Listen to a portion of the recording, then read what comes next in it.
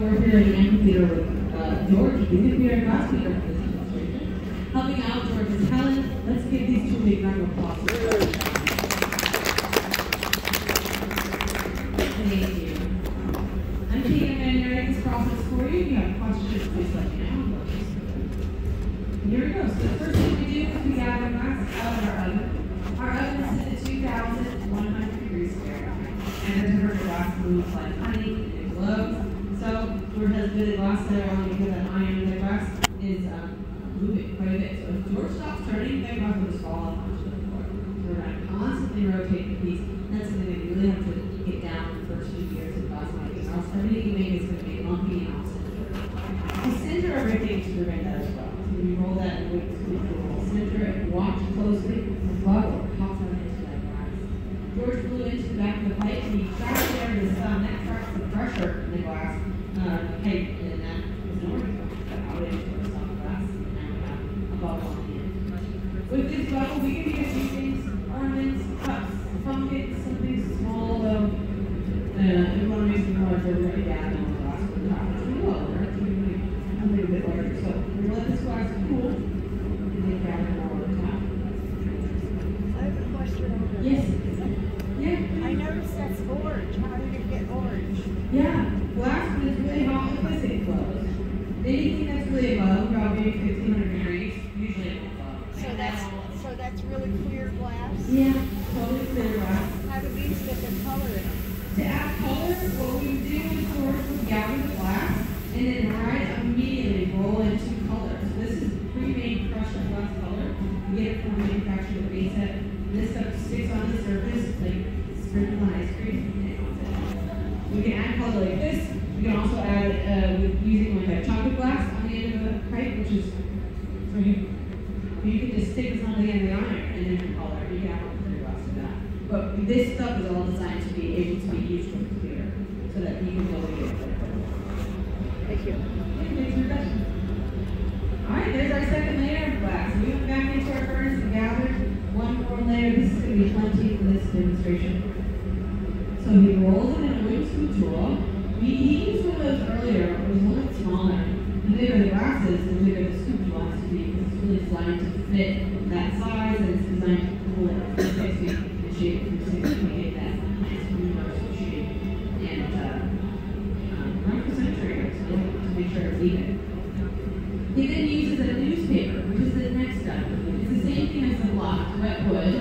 wood product, they make newspaper, but this one's flexible.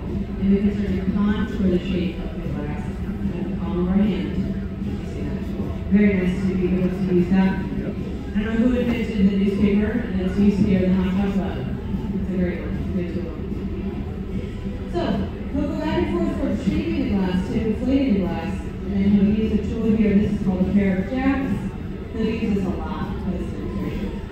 Near the pipe, he created a constriction line. That's going to help us break this bubble off the blow pipe in the future. It's very important. We'll go to that one later on, but uh, we have to put it in now, we can't put it in later on. So to do it at the very beginning.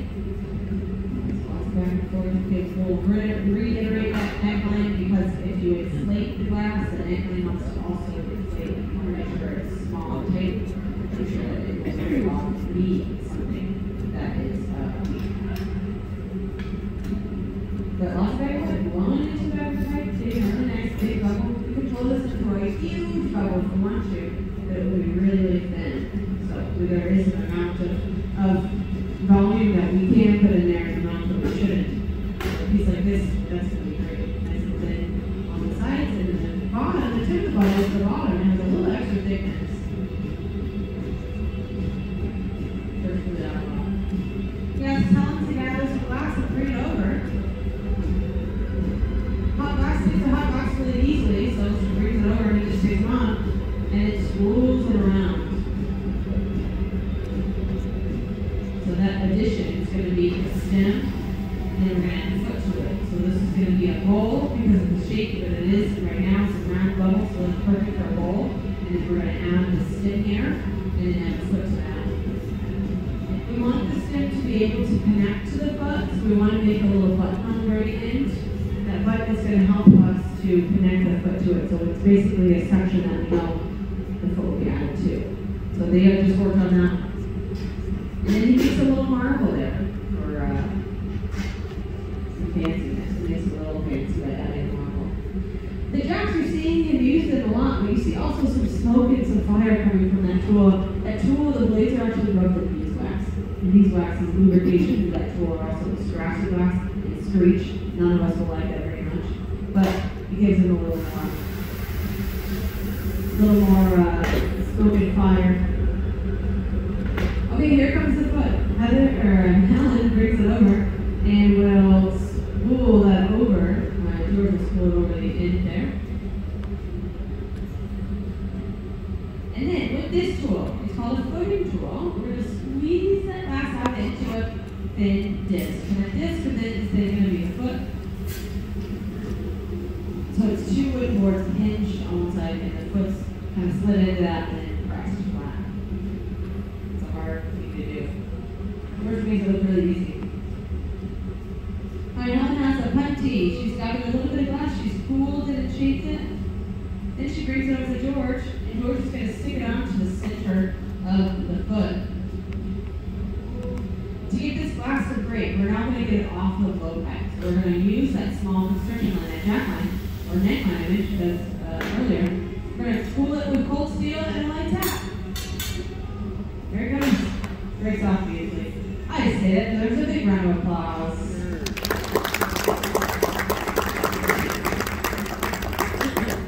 Thank you. All right, successfully transferred. Now, getting the glass to break off that easily takes many, many years of breaking it badly. And so George has been doing this again for 33 years. He's way past that. But you have to break a lot of glass in order to learn how to make it the right way and get it past that point. Knowing the temperature of the glass is key in the very beginning, so we don't know the temperature. The reason that we, or the ways that we can tell the temperature, of course, also for a beginner, is the way that it's moving, the way that it's blowing. It happens from 2,000 degrees to around around about 1,100 degrees. From 1,100 to room temperature, it's rigid, it doesn't move at all.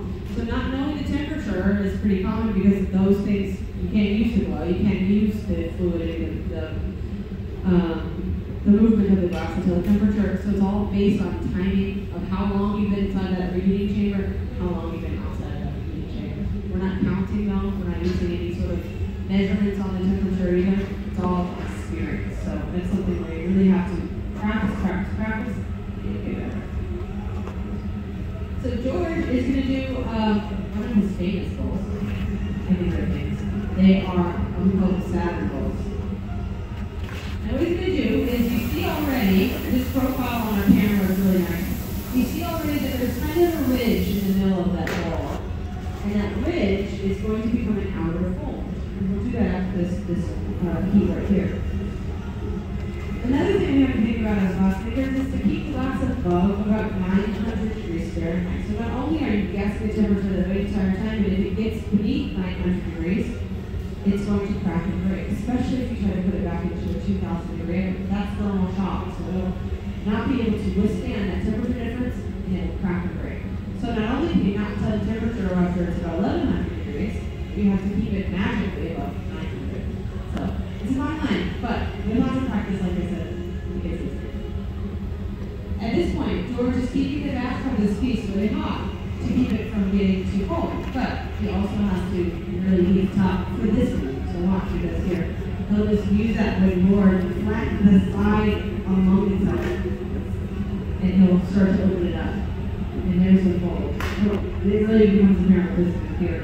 So then puff that section up. And there's our Saturn ring. Isn't that cool? So he folds that outer side of the, the bowl, and that fuses together. So it'll fold in the glass.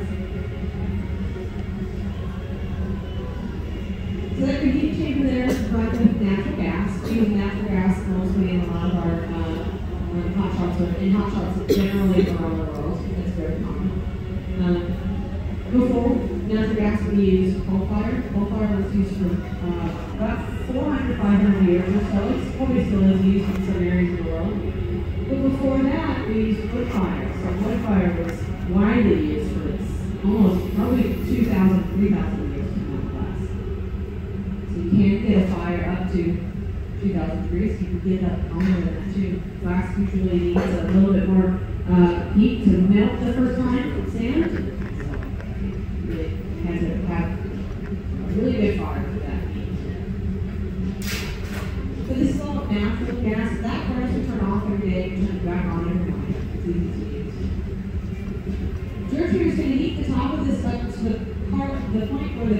So fluid that if you just turn the iron quickly, the glass will open itself all by itself.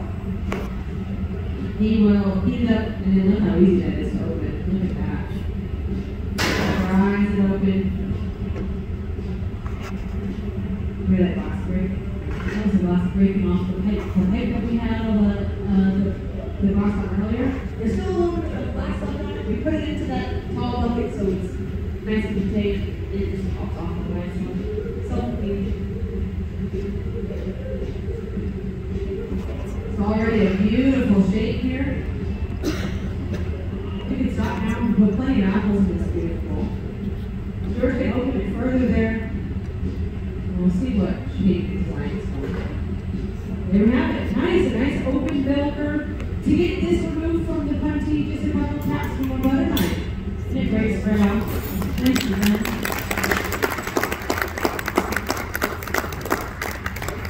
And then now all glass needs to go through a slow cooling process in order to cool uh, and not be thermally shocked or cool slowly. And so we'll see that piece after about 12 hours of cooling. We'll see it tomorrow. That's George Penn, everyone.